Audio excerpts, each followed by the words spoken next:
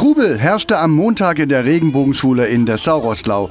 Der Förderschule für geistig Behinderte wurde ein neuer behindertengerechter Kleinbus Ford Transit Custom übergeben. Dieses Fahrzeug wird benötigt für die Beförderung der Schülerinnen und Schüler.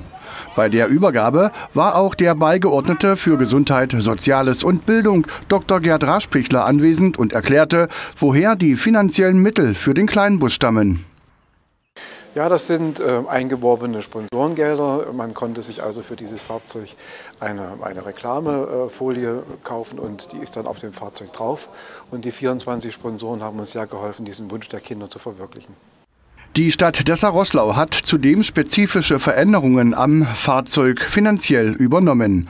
So wurden zusätzliche Trittstufen für Ein- und Ausstiege, eine Bodenhalterung für Rollstühle und Anlegeschienen zum Einfahren eines Rollstuhls eingebaut. Mit einer Fahrt können insgesamt acht Personen befördert werden.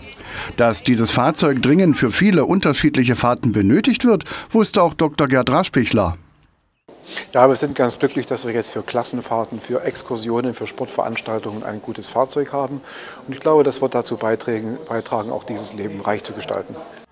Zum Dank für die große Unterstützung führten die Schülerinnen und Schüler vor der Schlüsselübergabe für die Sponsoren ein Programm auf, bestehend aus Musik, Tanz und Akrobatik. Zudem wünschten die zukünftigen Nutzer dem neuen allzeit gute und unfallfreie Fahrt.